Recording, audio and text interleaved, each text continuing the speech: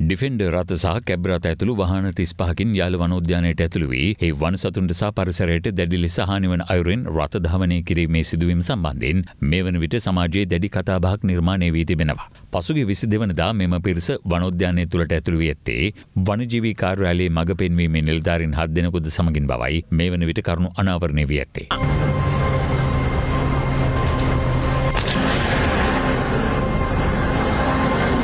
මෙලෙස වනෝද්‍යානය තුළ වනසතුන්ට පමණක් වෙන්න වූ ප්‍රදේශයන් වල පවා මෙම පිරිස ජීප්‍රත පදවමින් වනෝද්‍යානයට දැඩි හානියක් සිදු කර තිබෙනවා.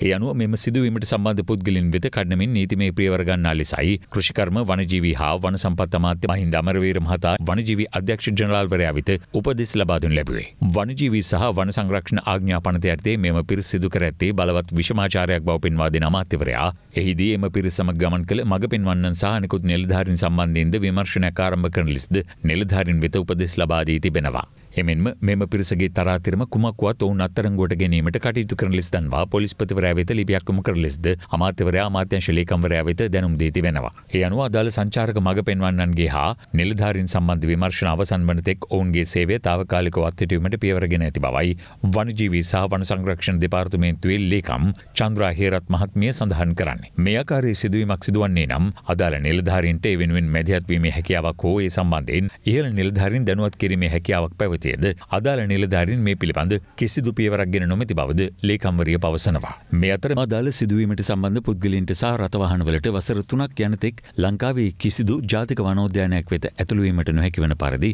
අසාදු ලේඛන ගත කිරීමට පියවරගෙන ඇති බවයි වනජීවි අධ්‍යක්ෂ ජනරාල් චන්දන සූරිය බණ්ඩාර මහතා පවසන්නේ.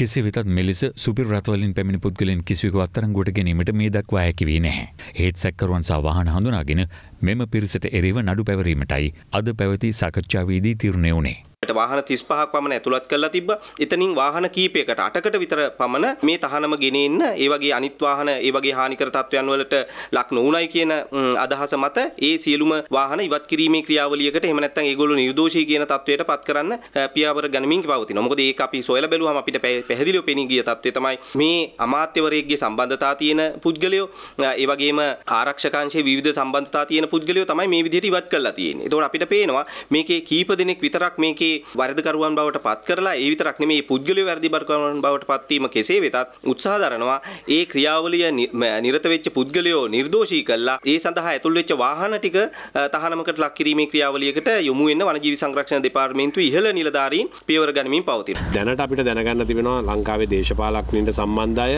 ඒ වගේම ලංකාවේ විවිධ මස් ව්‍යාපාර, බිත්තර ව්‍යාපාර ඇතුළු ඒවට සම්බන්ධ පිරිස්, ඒ වගේම පොලිස් දෙපාර්තමේන්තුවට සම්බන්ධ ඇතැම් පිරිස් මේ පිරිස් අතර සිටි බවට. ඉතින් ඒ වගේ සත්‍ය අසත්තාවේ සොයා බැලිය යුතුයි. ඒ වගේම ඔවුන් සියල්ලම තරාතිරම නොබලා දඬුවම් කළ යුතුයි. මේකේ අපේ දැනුමේ අනුව අවුරුදු 7ක් සිරගෙටත් ඒ වගේම ලක්ෂ දෙකක දඩයකුත් යොමු කළ හැකි මේ සම්බන්ධයෙන්